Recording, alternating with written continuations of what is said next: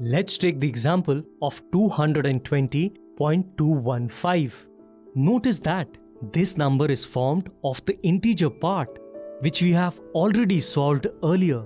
The process for solving the integer part of the fractional number is the same.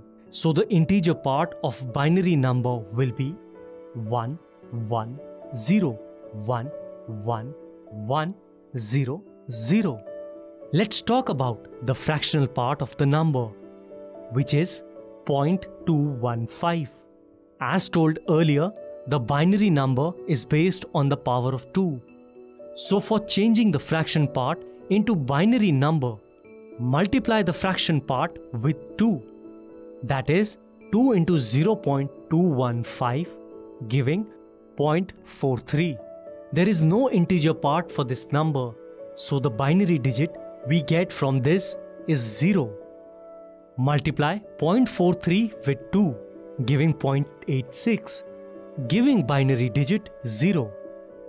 Multiply 0.86 with 2 to give 1.72.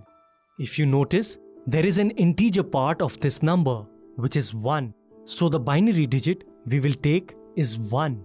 Further multiply the fractional part 0.72 with 2 giving 1.44.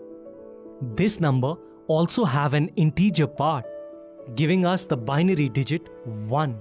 Multiply fractional part 0.44 with 2 giving the fraction 0.88 and the binary digit 0. If we keep following this procedure, we might keep getting binary digits and this process might go on and on. But we don't need too many recurring decimal places. We should calculate the first 5 decimal places and then cross check the options available in the question and then proceed further as required. So the first 5 decimal places are 0, 0, 1, 1, 0.